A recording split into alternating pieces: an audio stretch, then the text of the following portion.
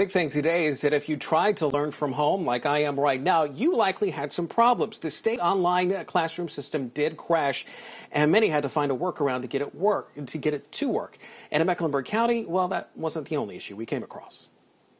Today has been incredibly frustrating. Forever to get into NCED Cloud. It was kind of supposed to be a return to normal, whatever that might have looked like, but the first day of school for some was just not happening.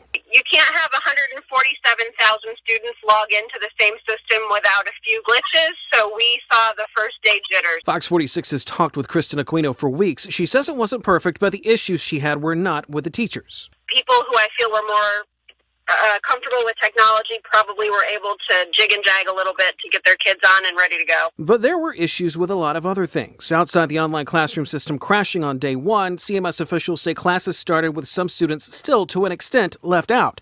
The district says they've deployed 11,000 mobile hotspots to families that need them for remote learning, but they have a need for around 8,500 more, and it'll be next week before they start getting any of those in. Uh, there are a number of efforts um, that we're taking simultaneously to try to secure those additional hotspots as quickly as possible. Day one for many was not perfect, but day two? I am optimistic uh, that uh, tomorrow uh, will go much more smoothly. But some say it may take a little longer than that for everyone to adjust. I'm expecting uh, the whole week to be very similar, quite honestly. I really think, based on the information we've gotten, that this week is going to be about forging relationships, setting standards for what the day is going to look like, the expectations.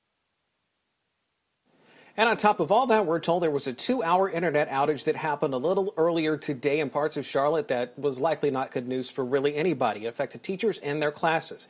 We did ask about that, and the district did say that there are no plans on teachers having mobile hotspots as a backup, but they are welcome to go to their classrooms and do remote teaching there. Live in Charlotte, Derek Dellinger, Fox 46, getting results.